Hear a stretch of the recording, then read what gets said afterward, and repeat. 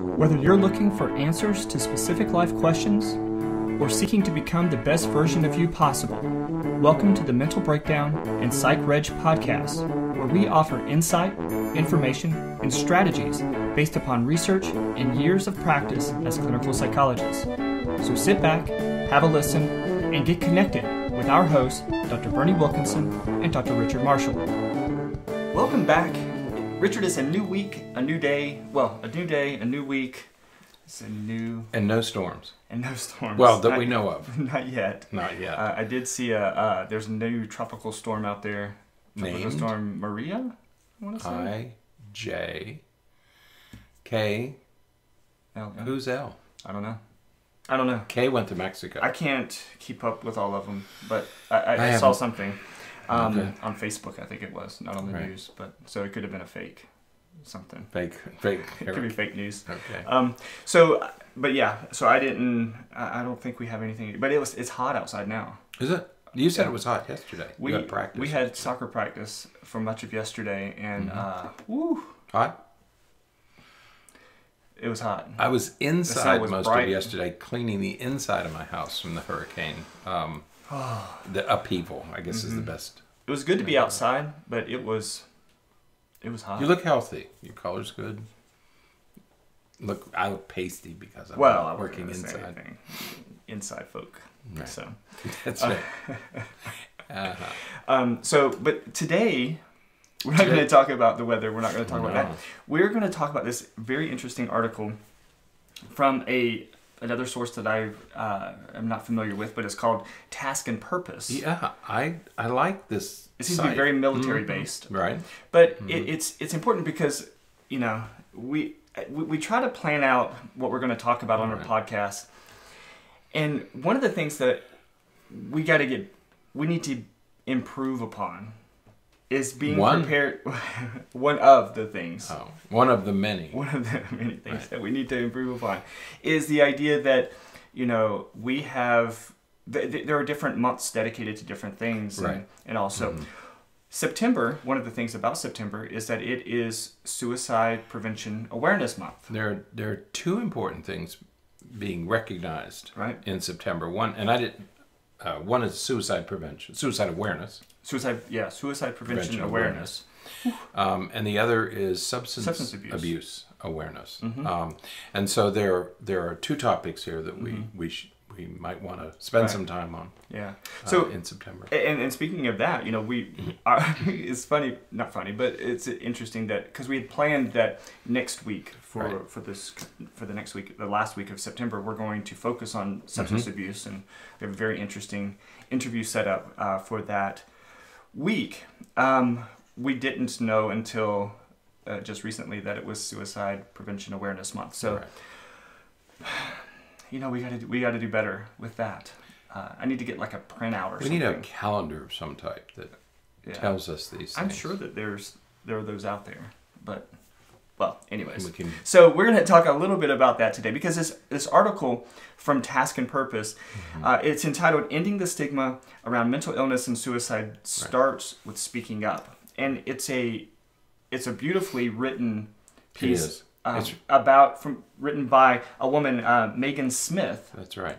and she's talking about the suicide of her brother, a, Right. mil- a, a military veteran. Right. It's well written, and it's written by somebody who's had a, a unfortunate um, personal experience Mm-hmm. with suicide. Yeah. And so we're going to talk a little bit about that today, and uh, and hopefully, you know, Right. get people thinking about things a little bit. Because and, and what's fascinating, and and I guess we stumbled upon this accidentally because I was looking for. I came across it because it was talking a little bit about the use of social media uh, for ending the stigma, and we've been talking about that over the past couple weeks. And again, it was just another one of those articles that came up from a recent that was recently published that we thought would be really interesting to talk Right. about. And then as we get into it, you know, she mentions that it's Suicide Prevention Awareness Month, and it's like, ah, we missed it again. Missed it again. Right. So, so, So we'll keep track. We'll keep better track of a- absolutely. So the the link to the article is in the show notes. So definitely, definitely, definitely get in there and, and read the article. It's it's again very well written. But she talks about her brother, and the he, he was he he was a military veteran. Uh, he, he had been off to war. Served and in he came Iraq. back, right? And, and, and some of the in the news we hear about the um, most active parts of the war, the active cities. So we begin to recognize certain names, like um, Fallujah was one of the names that comes up, and he happened to be at two of those hottest Right. spots. Um, I had um, not friends, but children of friends um, who have deployed to Iraq, and they were in quiet places and were there for a, for a year and never saw any action. They Yeah. they did other things, and they never saw any action. And we don't hear about those places. But this particular uh, brother, her brother, was in two of the most active Yeah. um, uh, war zones Right. um, in Iraq. So he uh, presumably saw lots of action. Right. Yeah, a- absolutely. And you, you know the the thing that we have to to remember is that when we think about PTSD, we often think about military veterans, which is um, appropriate because it was originally talked about or, or originally proposed as primarily a condition that was experienced by people who had been to war, and we we have.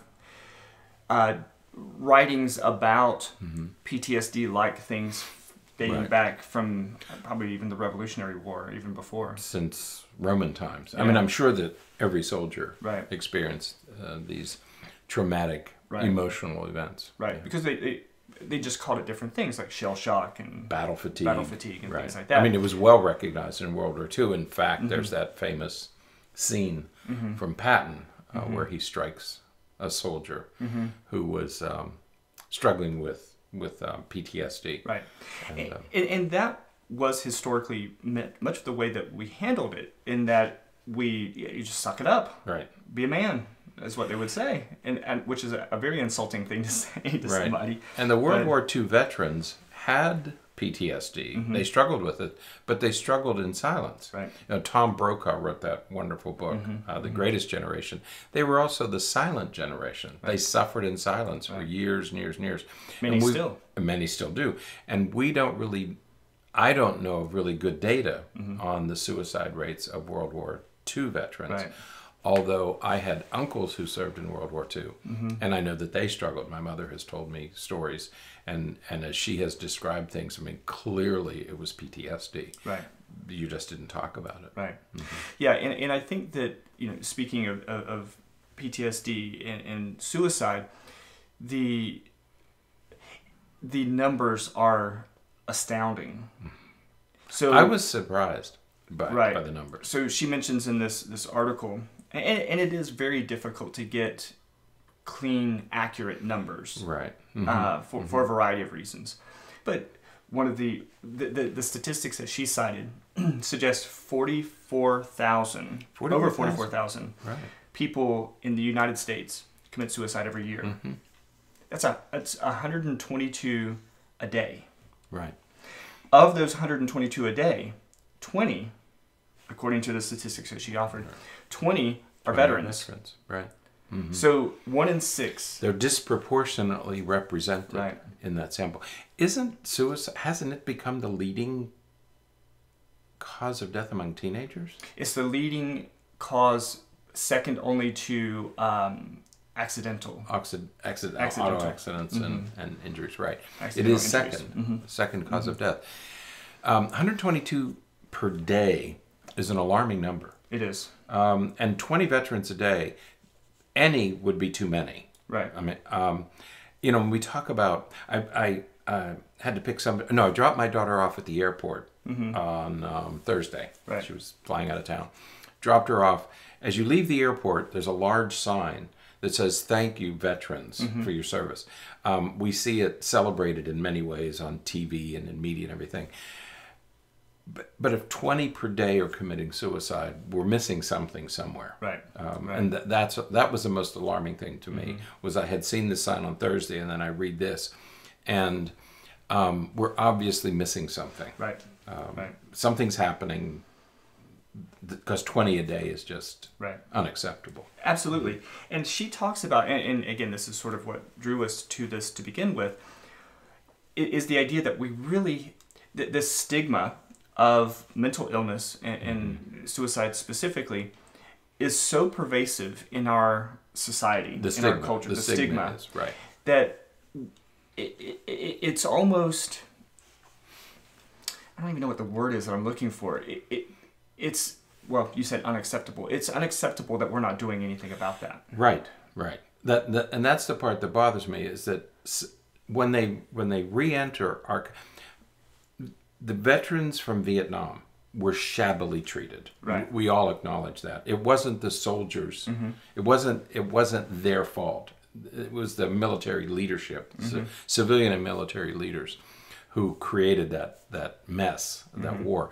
Um, but the soldiers were, were treated shabbily and as a nation we said let's never do that again Right. which is a good thing okay that that part's good but we're missing something when they said that this woman wrote this article and said her brother would have to wait for hours to get to see a psychiatrist or a psychologist that's simply unacceptable Right. these boys and they're boys uh, young men shouldn't have to wait 10 minutes Right. when they need this Yeah. kind of assistance. So, you know, you don't know whether it's a matter of political will or Right. financial resources or what it is. But whatever the problem is, Right. let's find out what it is and let's solve it. These guys don't deserve to struggle anymore. Yeah, and I and I think that what's really frustrating is that you know, and again, this is not a political show. We don't Right. we don't talk No. politics a lot on here. However, I'm not going to break that uh, Right. track record here, except to say, you know, when we think about the opportunities or the, the, the various options that have been proposed by some of the politicians as it relates to he- healthcare, mm-hmm. and you know, I think that I, I would really implore people to to look at the disparity between physical health and mental health. Mm-hmm. There there is such a disparity in the way in which our insurance companies and insurance coverage supports patients and, and just citizens as it relates to mental health issues as compared to the, what they do for physical health issues. Correct. You see how I'm dancing? I'm being very It's a moral issue. It's not a political issue. It takes political will to solve it. right, But this is a moral issue, right. uh, clearly. But we get so we're, we're so, you know, when we think about, you know, the criticisms that people say about healthcare systems from other places in the world, and they say, oh well, they have to wait so long, they have to, you know, they can't see a specialist right away, or they can't do this, or they can't do that. I would again implore you to to look at some of the information and statistics as it relates to access to mental health services mm-hmm. here in the United States. It is unacceptable. Right. I mean, mm-hmm. w- I'm, da- I'm being careful. We have here here in our area, just as an example, we don't live in a very rural area. I mean, we we No. live right in between Tampa Two- and Orlando, two of the biggest two, Population two of the biggest centers cities and areas in in, in Florida. Right. We And are, for- in a sense, a bedroom suburb Right. of those cities.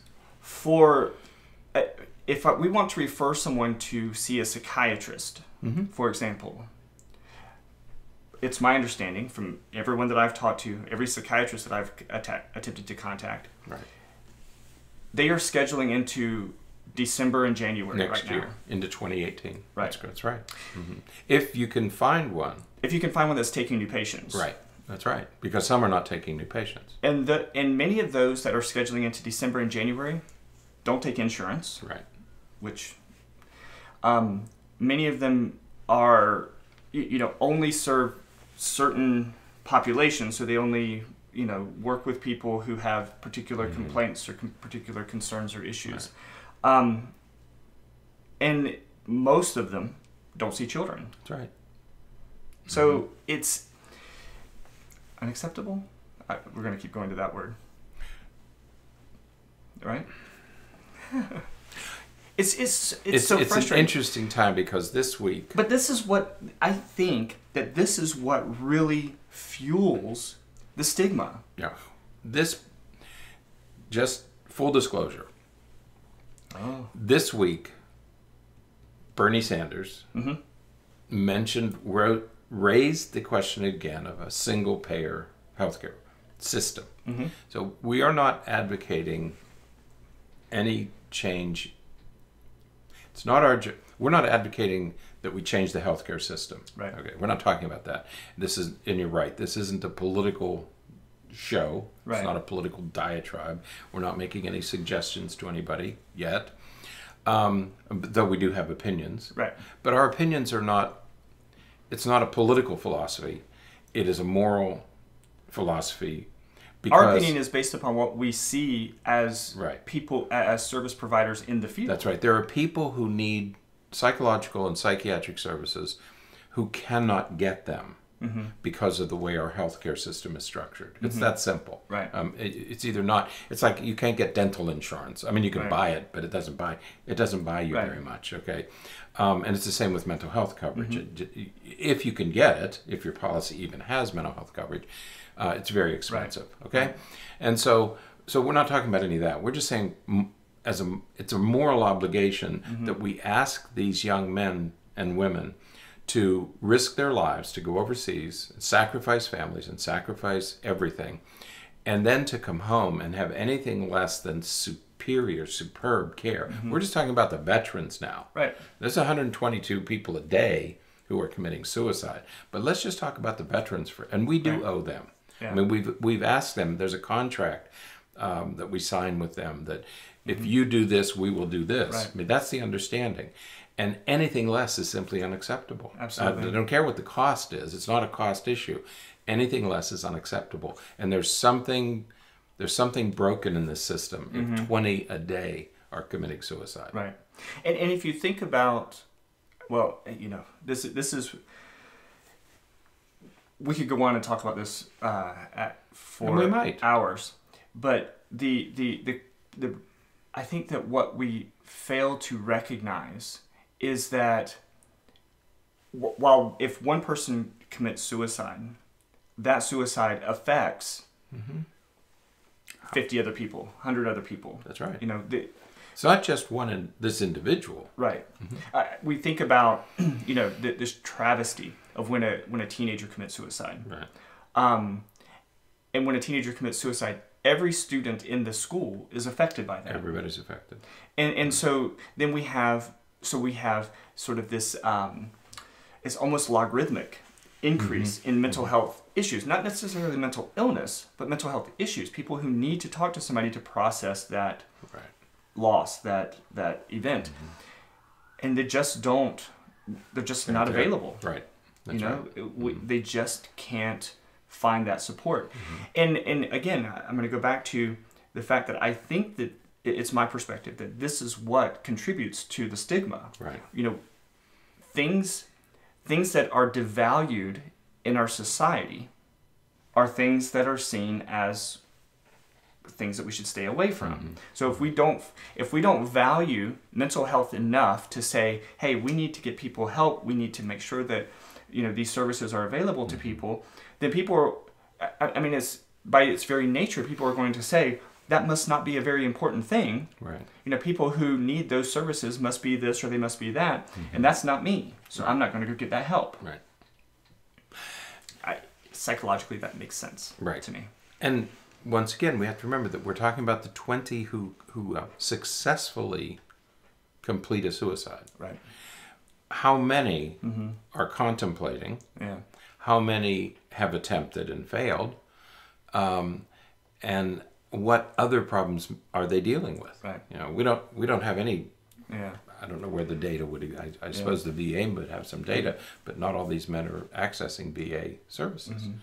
Yeah. So Yeah, there's a there's a wonderful song we we we listen, we've listened to it a couple times before called um, "Hero of War" by I Yeah. think the name of the group is Rise Against. I'll put a link to the YouTube video in the show notes, but it, it, it's it's a very it, it, be careful watching the video. It's a music video. It's a um, Right. but it's you know he they're talking about this very issue, issue, right. and, and it's it's so uh, it- it's such a big thing that I- I think that we don't talk about it enough, and and, and I, I regret that we didn't see that this was suicide awareness, suicide prevention awareness month earlier, so we Yeah, could we- we could dedicate more time. We, we've talked about suicide a lot over the past couple of months because of 13 Reasons Why and that kind of stuff. Mm-hmm. But I think that, you know, this serious discussion is needed to, and I wish that maybe we need to think about getting a, a politician or somebody on the on the show that we can interview that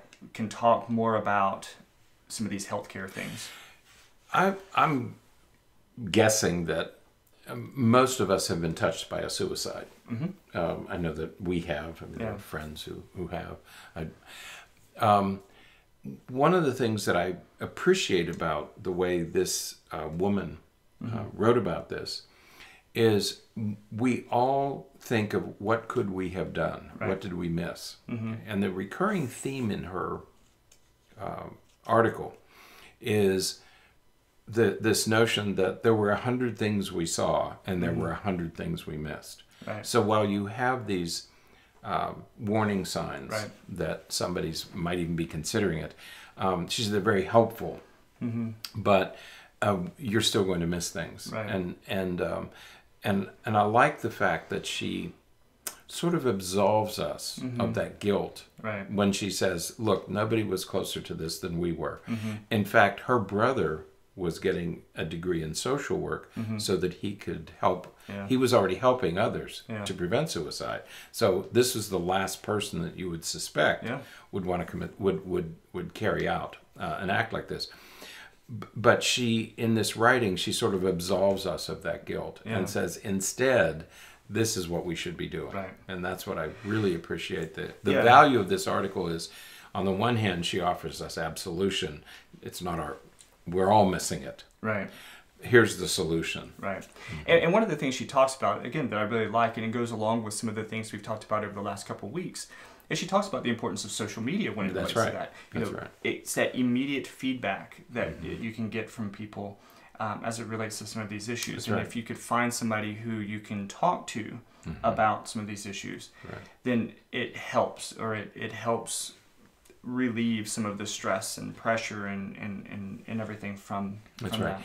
And there is that website that the woman, Bell, um, who, who was uh, working in suicide prevention and she ended up committing suicide. And now there's, Oh, a, yeah, the there's col- a semicolon? semicolon, right? Yeah. The semicolon project. Um, and again, as you say, this is a valuable use of social media. Th- this is one of the ways to get the word out. Mm-hmm. Right. Uh, this is a, a, a useful way, Yeah. um, a positive way to use social media. Right. Yeah. So, so if you or, or somebody you know is struggling with some of these things, I'm going to include in the show notes links to you know phone numbers that you can call to get uh, acute help, um, suicide prevention hotlines, and things like that.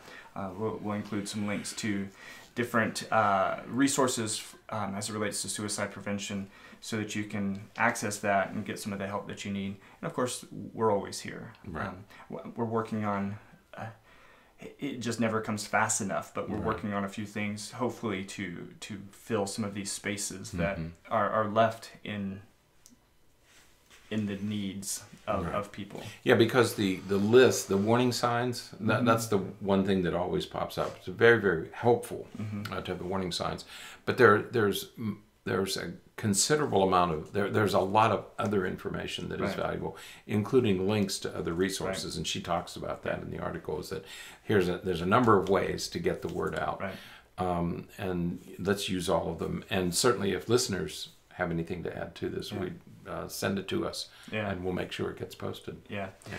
um so absolutely now we you know our our responsibility or what we've taken on as our responsibility from the beginning of doing our podcast is to work to get as much information out for people as possible to talk about things in ways that make sense to people um, so you know we want to keep reaching more and more people so i if you happen to listen to us on itunes and Right. you know please write a review or, or give a rating or something because that increases our uh, presence visibility on iTunes. presence, right? Um, If you listen to us in any other format, Yeah. you know, share us with your friends and, and encourage others to to subscribe and listen.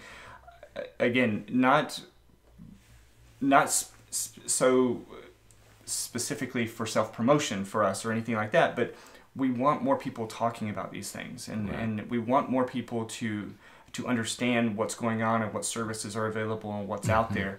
Um, so wh- whether you listen to us as a podcast or on YouTube, uh, that's why we're trying to get this stuff out to as many people and in, in as many formats as possible. Uh, please share us, uh, subscribe, uh, comment, uh, rate, you know, all of that stuff, and uh, so that other people can find us too. Right. Yeah. Let's get it out. Get Yeah. the word out. Yeah, we're gonna. We've got a lot of things coming up because we're going to. We're going to. We want to keep building this, mm-hmm. and uh, so And it's growing. let us know what's um, working, what you like, yeah. and what you don't like about this. Right. I asked my family the other day. I said, "You have to watch these things and let me know. You know what mm-hmm. what you do and what you don't like." You know what they told me? What? This glasses thing that I do is very distracting. Where'd you hear that before? I think somebody has said it. Somebody here? Somebody that Somebody- is wearing a green shirt. Ah, you know. So, all right. Well, Now let us know. Um, absolutely. yeah, it's not. It's really not self promotion. Right. No. We want to expand the audience. We want to get this information out. Yeah. It's not. We're not selling anything. I mean, that's Right. that's the iron. We're not selling anything, but we want to get the inf- this kind of information to as many people Yeah. as we can. Yeah. And um, it helps if you tell others Right. and let others know that we exist, and let it spread that way. Right. Um, and we'll get the word to more people. Right. Um, and if there's something more that we should be doing or something we should be doing differently, let us know by Yeah. all means. Yeah, we, we are looking for, uh, we are looking at some, what is it, advertising types of opportunities Right. simply to, well, this takes a lot of time. Pay, to pay somebody to do the technical work that we have to do ourselves. To, so to keep it improving. Right. Right. Yeah. Yeah, and to, and to to make it grow is is going to take more time. yeah. So Yeah. We've got, yeah. Yeah. Some of the but ideas we're we not have selling jewelry or knives or copper kettles or um, anything uh, vacuum cleaners. We're not we're not selling anything. We Did you say copper kettles? Yeah, that there's this copper cookware that's become very popular now on TV, uh, advertising. Fantastic. So I gotta look anyway, that. we're not selling anything. We're not. No, we're just trying to get information out in, in the in the most accessible way possible. Yeah, So, yeah, um, share to us. the most people we can. share us and, and work with us to, to help end the stigma and to, to get rid of it. So, Right. Both mental health and suicide awareness. absolutely. So That's it for today. Until next time, stay happy, stay healthy, and forget to be afraid.